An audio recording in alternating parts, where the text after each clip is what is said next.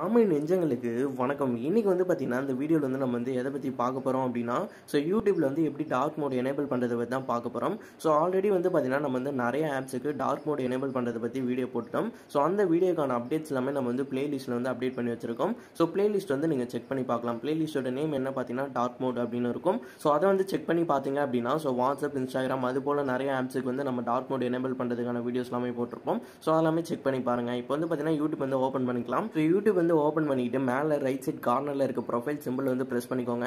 So அதை press பண்ணீங்க அப்படின்னா இது போல் தான் பேஜ் வரும். இதில் வந்து செட்டிங்ஸ் அப்படின்ற ஆப்ஷனை ப்ரெஸ் பண்ணிக்கோங்க. ஸோ ப்ரெஸ் பண்ணிட்டீங்க அப்படின்னா ஸோ இதில் வந்து உங்களுக்கு ஜெனரல் அப்படின்னு ஒரு ஆப்ஷன் இருக்கும். ஸோ அந்த ஆப்ஷனையும் ப்ரெஸ் பண்ணிக்கோங்க.